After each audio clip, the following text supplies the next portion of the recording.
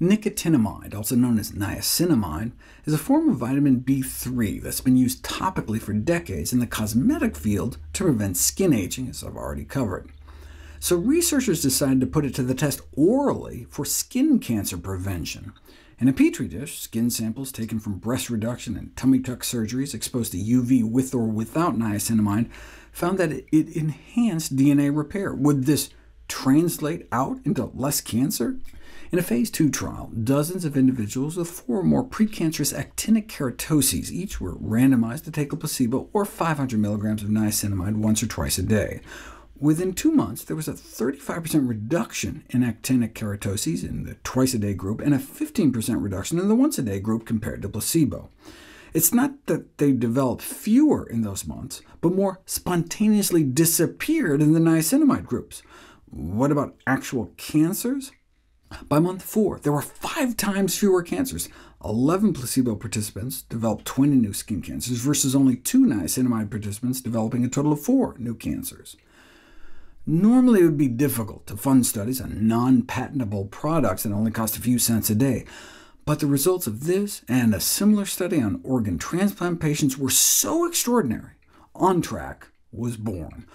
Oral nicotinamide to reduce actinic cancer was a publicly funded phase 3 trial, randomizing hundreds of people with a personal history of skin cancer actinic means UV-induced to 500 milligrams of nicotinamide twice daily or placebo for a full year.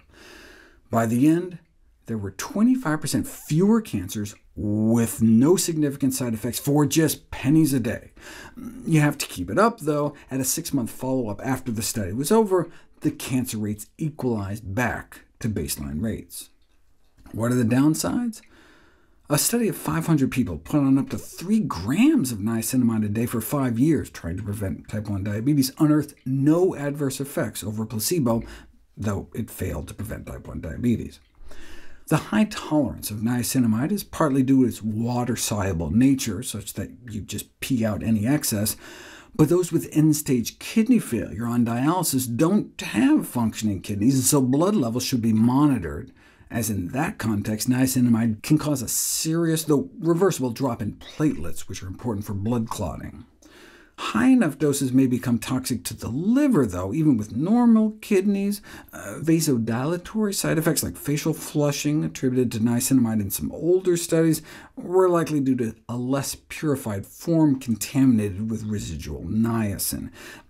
I know it's confusing. Niacin, also known as nicotinic acid, is a precursor of, but very different from niacinamide, which is synonymous with nicotinamide.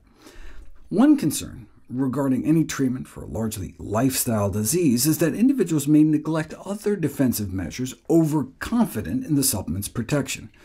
Regarding drug interactions, a concern has been raised about taking niacinamide together with carbamazepine, a popular anti-seizure drug sold as Tegretol, but in general, as the ONTRAC researchers concluded, oral nicotinamide is safe and effective in reducing the rates of new non-melanoma skin cancers and precancerous growths in high-risk patients. To their credit, a 2021 survey of skin cancer surgeons found that three-quarters recommended its use. Other than nicotinamide, how else might we protect against skin cancer from the inside out? That's what I'll cover next.